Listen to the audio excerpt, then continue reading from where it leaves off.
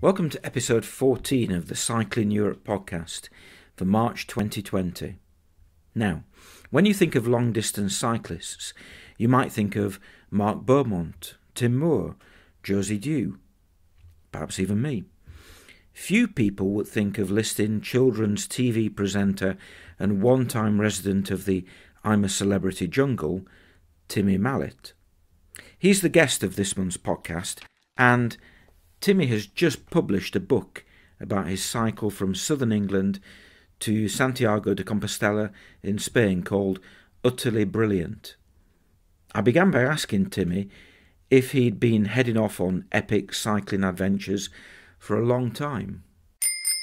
Yeah, I have actually. I've been doing more of it than I, suppose I realised. I've done a, number of, uh, of, bike rides. I did.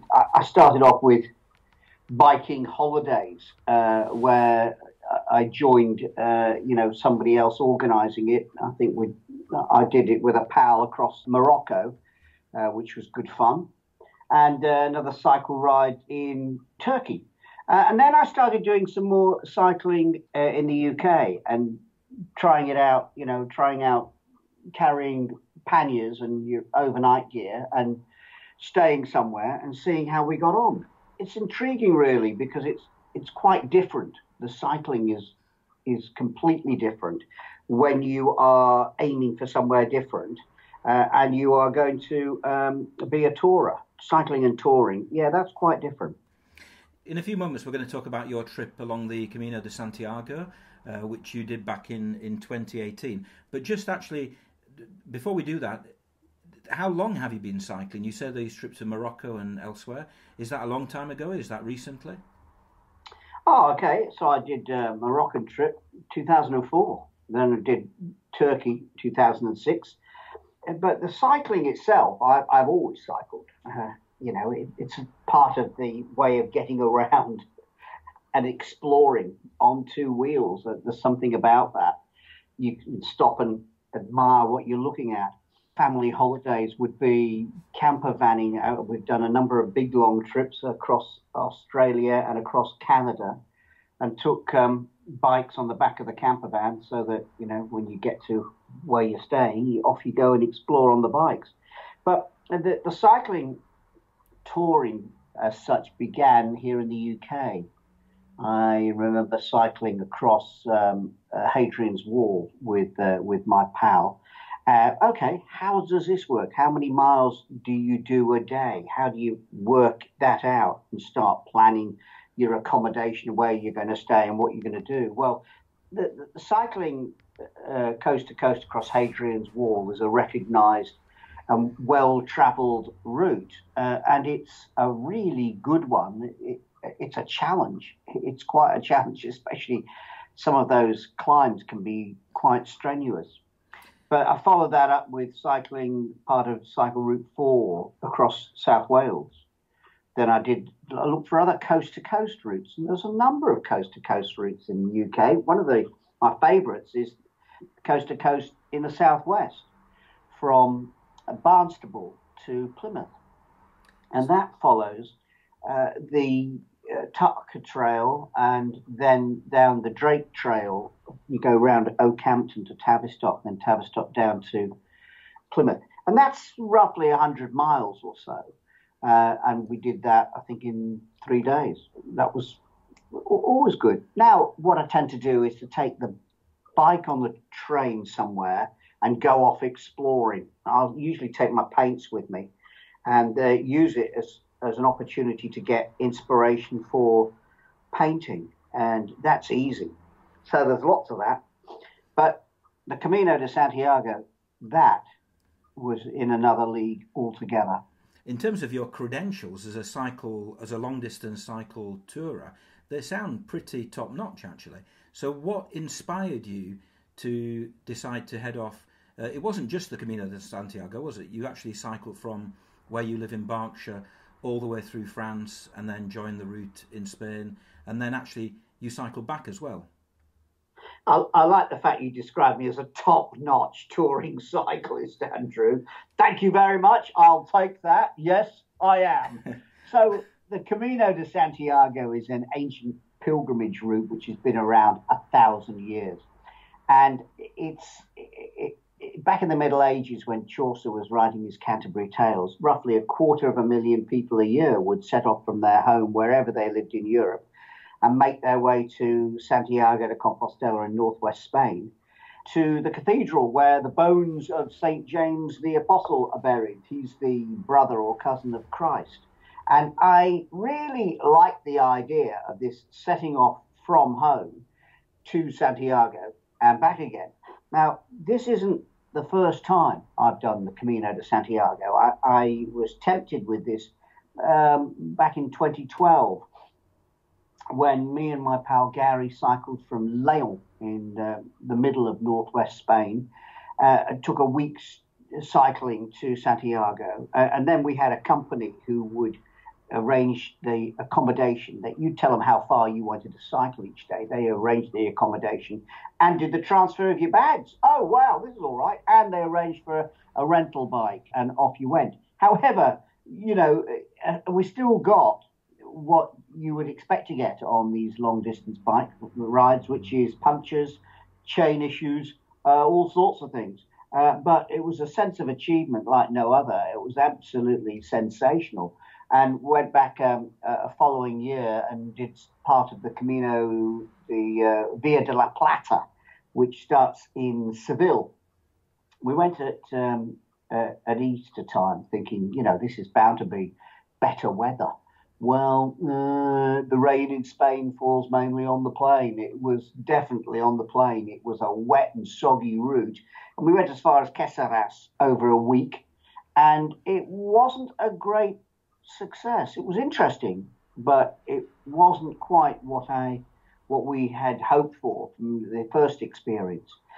And then my pal Gary challenged me. He said, you know, let's do this again properly. Let's do the full full distance. And by that, he meant cycling from Saint Jean Pied de Port at the foot of the Pyrenees along the Camino Frances, the recognized northern route that takes you through Pamplona and Burgos and Leon and Sarria and into um, Santiago de Compostela. Uh, but what I meant by doing the full route was that traditional idea of what the original pilgrims would do, which was leave home, set off from home and make my way to Santiago.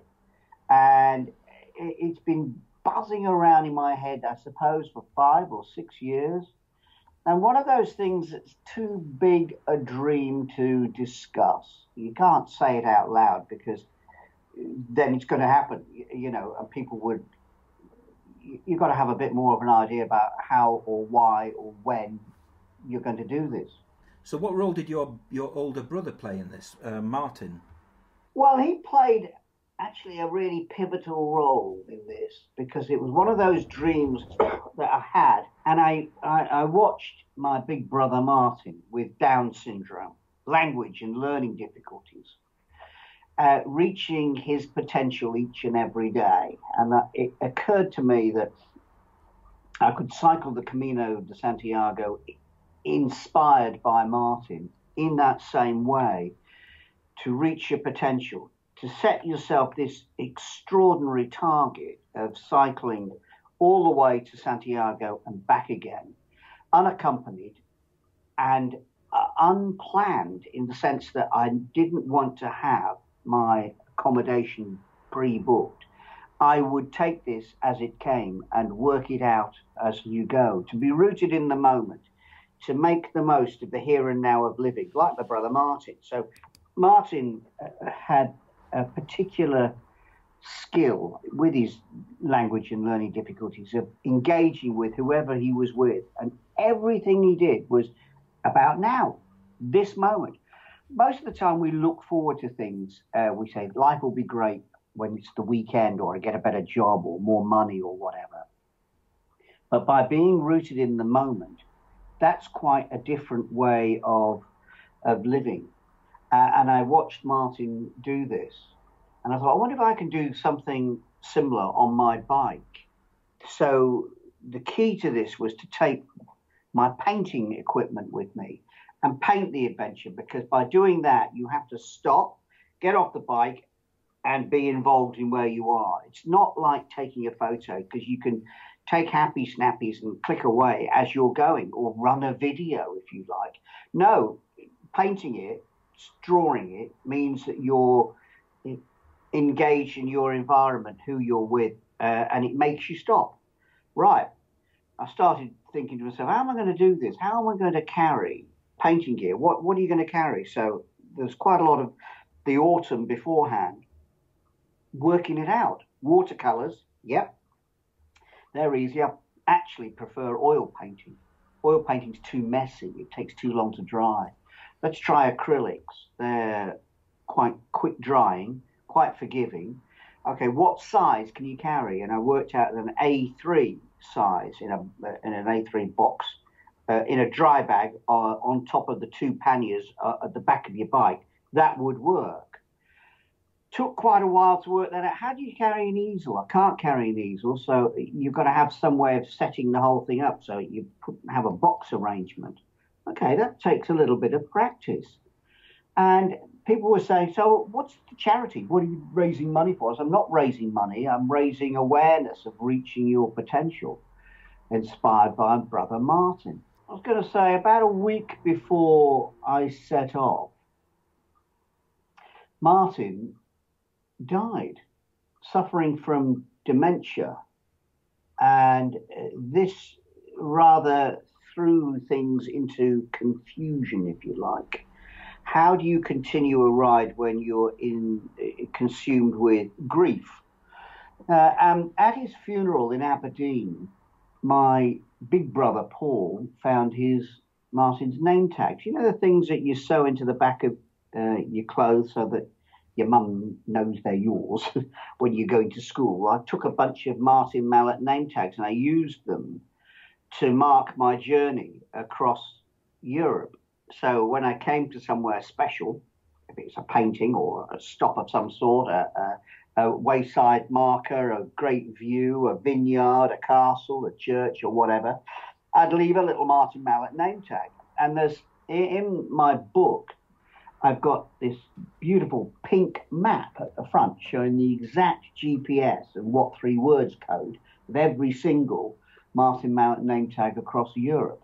And it became quite a key to the way I was marking the journey and inspirational. So you were doing two things really as you were as you were cycling. You were marking the various points with the name tags, and you were also doing the painting from time to time how did you actually decide when to stop and do the painting? Ah, well, part of it is make sure that you do. Make sure that you notice things. Uh, and uh, again, the business of uh, of cycling with a declared ambition of where you're aiming for each day can be a little distracting so, for instance, my pal Gary, who I cycled with the first couple of times when I uh, did some of these practice rides, his his way of doing it is to get there. Uh, his idea is let's get there, and then when I get there, I'll relax and I'll look around the town. Mine is the business of getting there. I'm more interested in the journey than I am in the destination. That journey is really key to it. So notice the weather uh, and that was easy to notice the weather because I set off just around, uh, the, you know, around the time of the beast from the east, and and I had torrential downpours and wild wind and, and an extreme, extreme weather for the entire uh, way. Spring did arrive, but well, well into Spain before I got um, what you might call recognisably balmy, nice spring weather. But the, the weather means that you notice things. You, you are involved in your environment. So uh, if you can't paint because it's lashing with rain, you take a photo or a little mental picture of it, or it might be a, over a tea break or something, a little sketch of some sort. And then at my accommodation that night, I would work up the pictures into um, into a painting. So some of the paintings are done on location, some are done in the accommodation, and some are done back in my studio at a later stage. That, by the way, is my lovely phone pinging away. now, carry on. a lot of people who are listening to this obviously will be long distance cyclists and they will have done their own trips or they're looking for inspiration perhaps to do their own trip. There is one key difference which you did on your cycle to Santiago, and that was the fact that you did it on an electric bike. Yeah, I did an e-bike. Yeah, and I'm absolutely thrilled I had that e-bike. What a great, great thing to get. I mean, e-bikes uh, transform your cycling they are without a doubt uh, a game changer. It, it, makes all the difference. So I'll give you an example. First of all, uh, I'm carrying two full panniers and my painting gear. So I'm carrying quite a bit of weight, uh, and that weight will end up being something in the region of 25 kilos. Now, a very, very heavy rucksack on your back would be about 15 kilos. So I'm carrying quite a bit of weight. And then there's me on top of it. So you, you do find that the extra bit of assistance that you get from an e bike is very, very encouraging. So when you come to the hills, you, you'll click it in. You'll just um, choose one of the three modes eco, normal, sport. I, can't remember the times I used sport. I don't think I ever did. I think it would be just click it into ego, uh, eco and um, you know drop your gearing down and keep your cadence up and and pedal, and you just get more to your pedaling. But the key thing I really enjoyed about the e-bike is I stop more. Now that's a weird thing to say when you're a cyclist. Stopping more, yeah. It's not how far you go it's not how fast.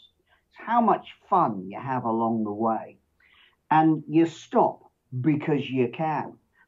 If you're on a normal bike, a road bike, a hybrid, or what, mountain bike, whatever, you come around the corner, you see a great view, you go, oh, look at that.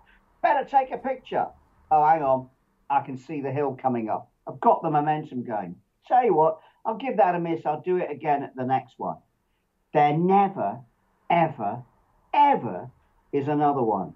There's nothing like each and every moment of the day. So if you see something that inspires you and makes you want to stop and look at it, stop. Because on an e-bike, getting momentum again is easy. Ah. Also, it's got a great big chunky stand. It stands up on its own. You haven't got to look for a tree to lean it against. And if you're going to paint a picture, well, you've got a stable thing to rest your canvas on, uh, and it makes it uh, easier. Oh, absolutely joyous. Love it. It's a Giant Explore One. Um, that comes in a range of sizes. Uh, there's a, a, large size, a medium, and a small. Medium was what I had, uh, but you know you can make yourself uh, get get yourself fitted out for it. Nice chunky tires.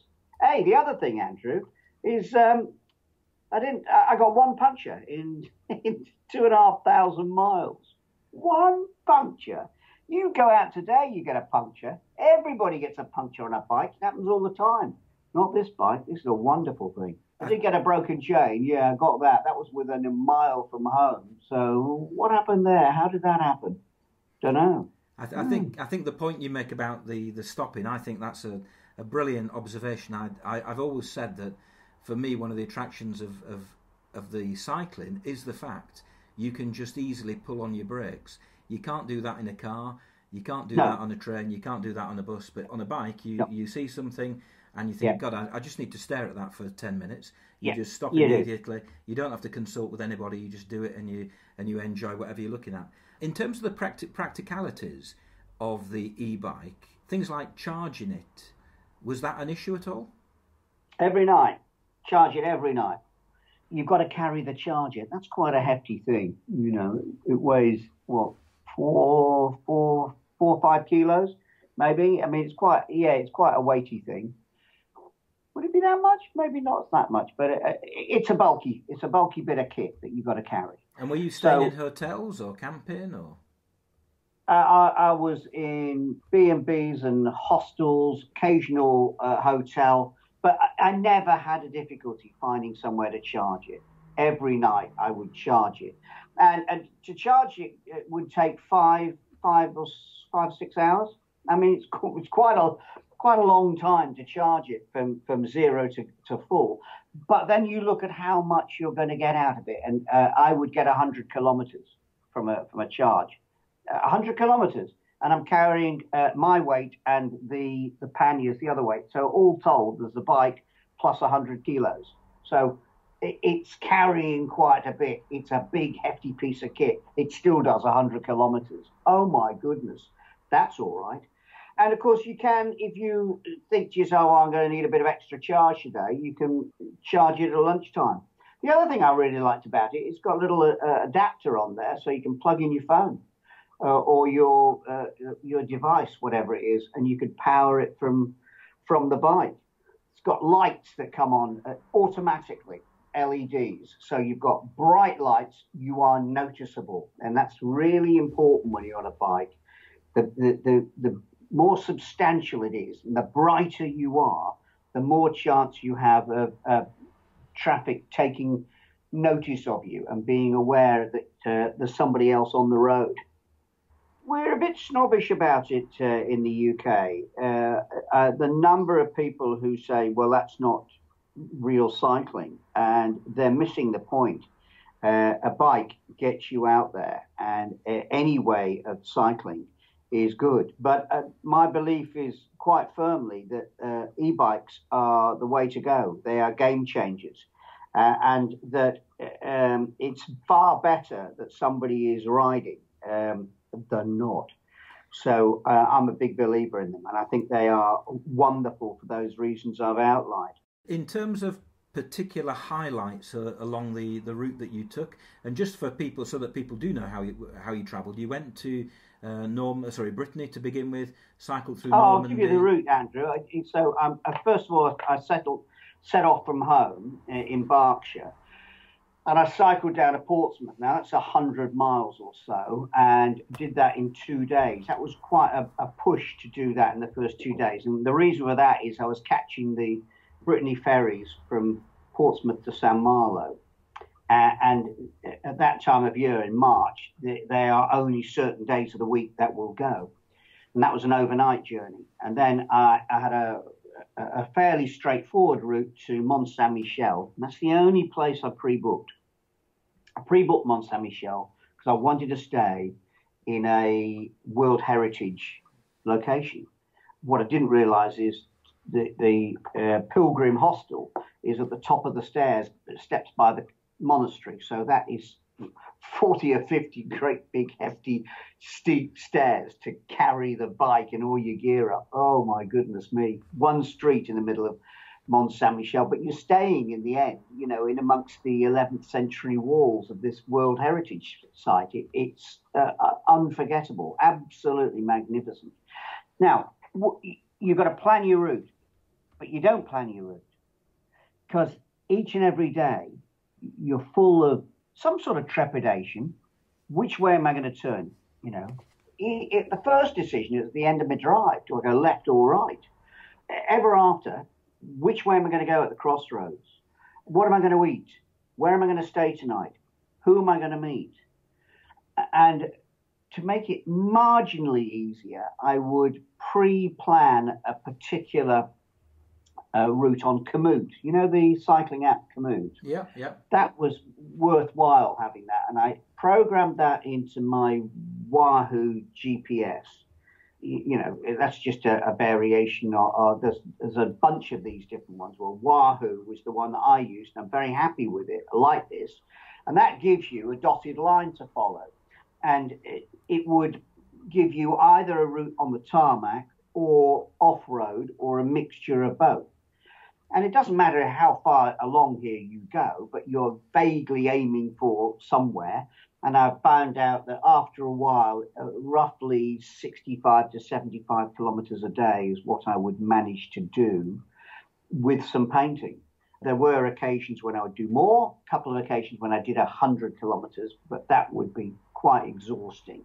And I didn't really want to do as much as that. Uh, less is more and then sometimes I do as little as 40 k's or 45 k's a day, and that's a nice, easy half day, if you like. And let's see where I get to and what I get involved with during the course of the day.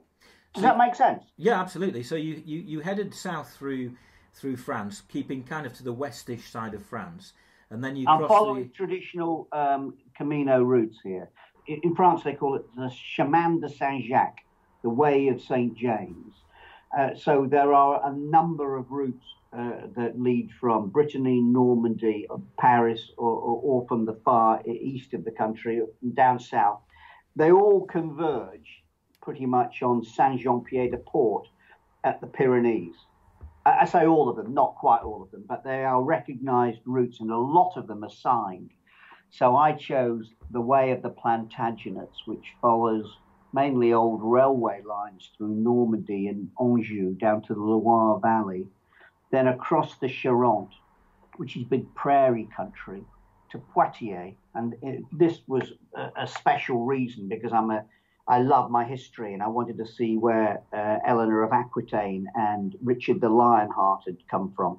I made detours to go and see their burial places uh, and to follow their historical roots and to follow about Henry II and uh, and his fight with Thomas a Becket. I mean, these things are, are, real stories; they're real people. And I, I found that 800 years later, I, I was really interested in them. I stopped off for a, um, a couple of days with my twin town just next door to Poitiers. Um, the mayor, who I stayed with, kindly shipped back the first 16 of my paintings.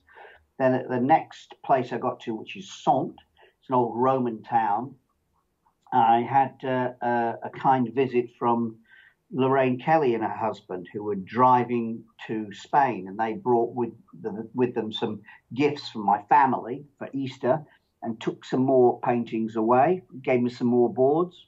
Headed down through Bordeaux, which I needed to stay at because I had a bike issue had to get to a, a giant cycle shop to get things fixed. Um, and then on to the Pyrenees, and the Pyrenees across that route that I've outlined before Pamplona, Burgos, the Meseta, the big plains of northern Spain, to Leon, the big capital city, and into Santiago uh, via the old Roman route.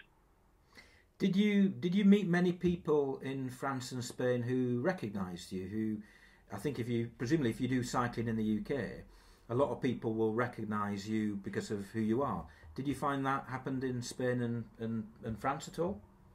Uh, yep. to be honest, Andrew, it happens wherever I go.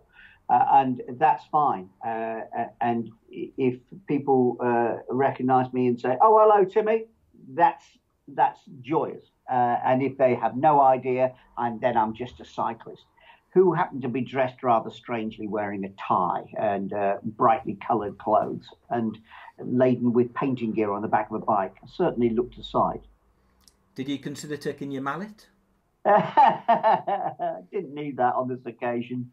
Very nice idea, but this had a different purpose, this bike ride. So, if you if you were to pick out a highlight, uh, just perhaps one place or one event that happened which kind of encapsulated what you were trying to achieve by the the cycle. Can you tell us about that? Uh, I think the the thing that I found really revealing was that the business of being a pilgrim on a on a adventure like this is about being vulnerable, and it's quite an odd sensation to be in.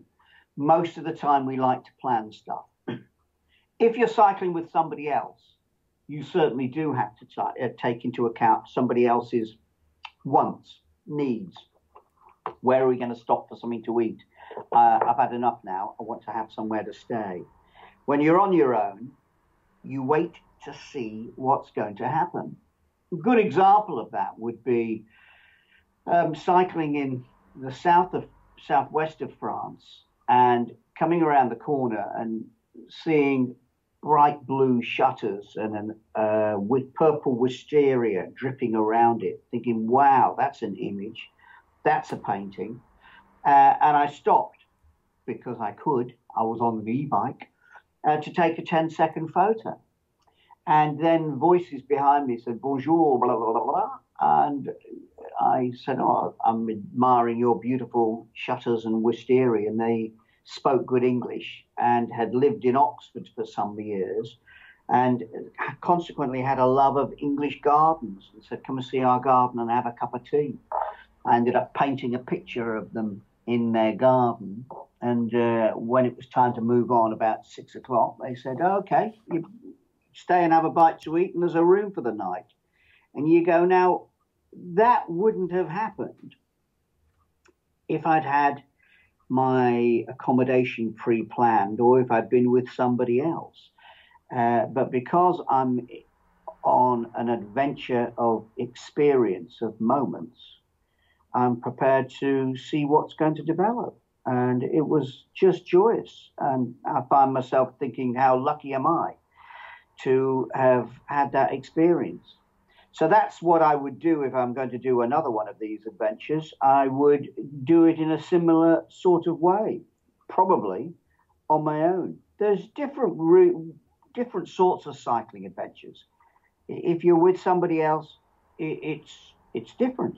Uh, it's still entertaining and joyful, but I tend to paint less because uh, um, then I've got to somebody's got to wait while I do that. So if I'm wanting to paint and be part of the moment, then that's better done on my own. Yeah, I've been looking at some of your pictures on on your painting website, and I particularly like the one of the windmill. Where was that painted? Yeah, now that big windswept sky with the bike uh, small in a monumental landscape it was early into my trip on the Bay of Saint, Saint Michael, not far from Saint Michael's Mount, Mont Saint Michel, and I saw the the windmill and the big sky billowing across Normandy, coming over the Channel, and that stopped me in my tracks. I looked at that. I thought, this is this is a an analogy, if you like, of the whole uh, journey. Big landscape, small cyclist, big aim. Break it down into little bits. Remember the journey between here and the cup of tea stop, here and the next town, or between here and the next bend. And because of that, Andrew, I can remember every bend in the road, every single bit of this adventure is etched in my mind. I have a, a, a very clear memory of each and every day and what it led to. Are you planning another trip in the future? And if so, where are you going to go? What are you going to do? Uh, Andrew, there's a bunch of rides I've got in mind, some quite big ones. I'm not going to announce them just yet because probably I, will better run them past my family first so they get used to the fact that Mallett's going off on another adventure again.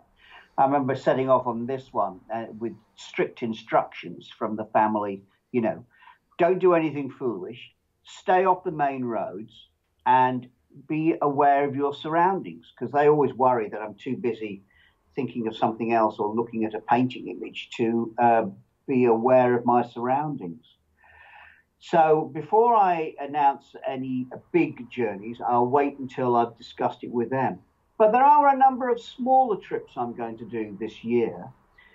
Early April, I shall cycle the south coast. I, I want to do Hastings, Rye, Romney Marsh, Folkestone, Dover, Ramsgate, around that Isle of Thanet to Margate, Whitstable, and the Oysters and I should do that with a with a, a pal who wants to cycle with me, and we'll do that over three days, couple of nights.